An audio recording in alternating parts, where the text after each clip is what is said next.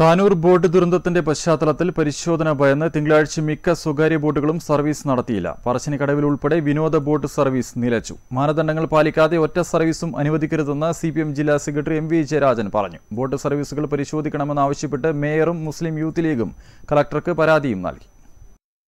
Tanur boat ദുരന്തത്തിന് കാരണം മാനദണ്ഡങ്ങൾ കാറ്റിൽ പറത്തിയതാണെന്ന വാർത്ത പുറത്തുവന്നത് വിനോദസഞ്ചാര ബോട്ട് സർവീസ് മേഖലയ്ക്ക് കടുത്ത ആഘാതമായി.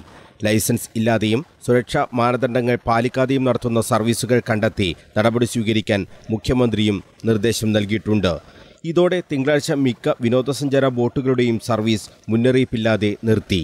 ബോട്ട് ദുരന്തത്തിൽ മരിച്ചവരോടുള്ള ആദരസൂചകമെന്ന നിലയിലാണ് പലരും സർവീസ് ഒഴിവാക്കിയതെന്നാണ് പുറമേക്ക് പറഞ്ഞത്.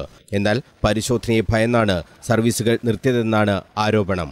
മാനദണ്ഡങ്ങൾ പാലിക്കാതെ ഒരു ബോട്ട് സർവീസും അനുവദിക്കരുതെന്ന് സി പി എം കണ്ണൂർ ജില്ലാ സെക്രട്ടറി എം വി ജയരാജൻ പറഞ്ഞു. കർശന പരിശോധന എല്ലായിടത്തും ഉണ്ടാകണം. ഇതിനെല്ലാം സർക്കാരിന്റെ ഒരു മാനദണ്ഡവും സുരക്ഷാ ക്രമീകരണത്തിൽ ഒരു ബോട്ടിൽ സഞ്ചാരികളുടെ ബോട്ടിൽ കയറാവുന്ന ആളുകൾ എത്ര? വിനോദസഞ്ചാരത്തിന് സഞ്ചാരികളുടെ വോട്ടിന് എന്തെല്ലാം സൗകര്യങ്ങൾ ഉണ്ടാവണം? ഈ മാനദണ്ഡം പാലിക്കാതെ ഒരൊറ്റ ബോട്ട് സർവീസ് നടത്താൻ പാടില്ല. ഇതാണ് അടിസ്ഥാന പ്രശ്നം. സർവീസ് ആരംഭിക്കുന്നതിന് മുമ്പ് ഇതെല്ലാം ശരിയായ വിധത്തിലാണോ എന്ന് പരിശോധിക്കണം. ഇപ്പോൾ വിനോദസഞ്ചാരികൾ ഏറ്റവും കൂടുതൽ യാത്ര ചെയ്യുന്ന ഒന്ന് ബോട്ടിലൂടെയാണ് എന്നുള്ളത് കണ്ടുകൊണ്ട് തന്നെ ആവശ്യമായ സുരക്ഷാ ക്രമീകരണം ഉണ്ടാക്കുക തന്നെ വേണം.